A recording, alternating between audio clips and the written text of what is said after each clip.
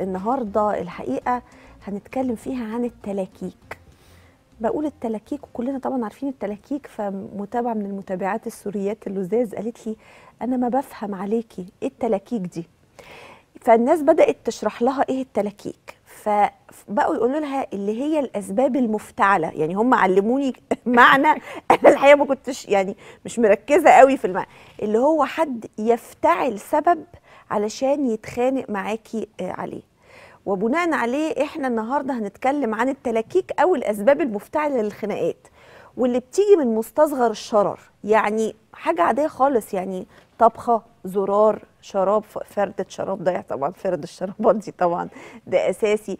آه، أي حاجة أي كلمة عادية أي قناة بنتفرج عليها وهو عايز يتفرج على حاجة وانت على حاجة تكييف افتحي التكييف اقفلي التكييف تقلب خناقة وحريقة في البيت وممكن تغضب وتروح عند أهلها. ممكن يمد إيده. موضوع طب إيه يا جماعة هو أنتوا اتخانقتوا على إيه أصلا؟ فتدور تلاقي الموضوع تافه جدا. يعني السبب بتاع الخناقة تافه تفاهة منقطعه النظير. طيب هل الخناقات اللي بتكبر من تفاهة أو من مستصغر الشرر دي بتبقى رواسب ومرقدين لبعض ومستنيين يعني على بعض تلكيكة عشان يمسكوا فيها؟ ولا آه، بتبقى تفاهة أكتر من فكرة السبب نفسه؟ إنه أنا مش هعدي لك حاجة وأنا مش هعدي لك الهفوة. إحنا عايزين نفهم السبب اللي ممكن يعني الحياة تبقى أهدى من كده بكتير آه، لو عدينا لبعض التفاهة دي. يعني لو يعني مش لازم يعني معلش حصل خير معلش الملح زاد معلش حاضر. مش لازم نقلب الترابيزة وفي أكل بيترمي في الزبالة وفي عشان إيه؟ عشان أصل أنا أعرف حد يا مؤمنين عشان هو الشوربة كانت سخنة ولسعت لسانه قلب الترابيزة. طب هف في الشوربة حضرتك. لا هو مش عايز يهف في الشوربه انت أنا قايل لك حطي الأكل بدري وكلام بقى تلاكيك فعلا أسباب مفتعلة فعلا. مروة الصعيدي إزيك يا مروة؟ إزاي كده؟ عاملة إيه؟ هل في أسباب مفتعلة وتلاكيك. بتبوظ الحياة؟ طبعا. بصي الحلقة دي ينطبق عليها جدا المشهد اللي عمره بيروح من بالنا بتاع سك على بناتك. اللي هو. لما قالت له كلمة مني على كلمة منه فؤاد المهندس بطلها بص لها قوي قال لها ما كنت سيبيه يمسكها يا فوزية.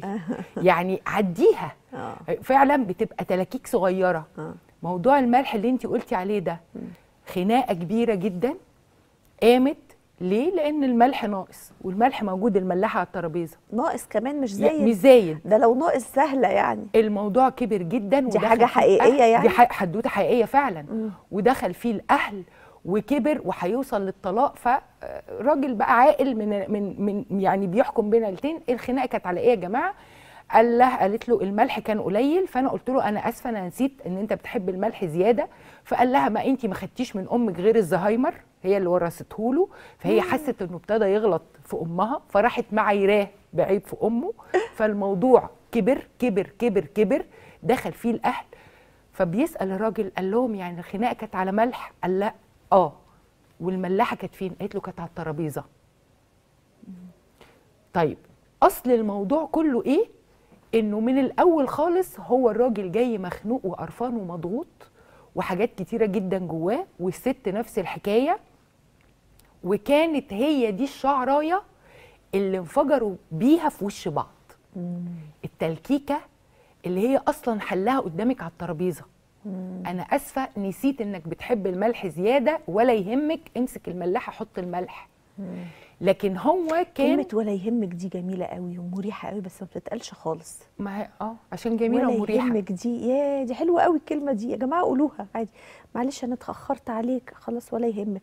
وأنا هفضل مستنيكي وأنا هفضل يعني عارفة انت الحاجات دي لو كلمة ولا يهمك دي هتحل نص مشاكل الشعب المصري. ده ده كل المشاكل خصوصا بين الأزواج. وفي كلمة كمان أسهل وأحلى منها كلمة شكرا.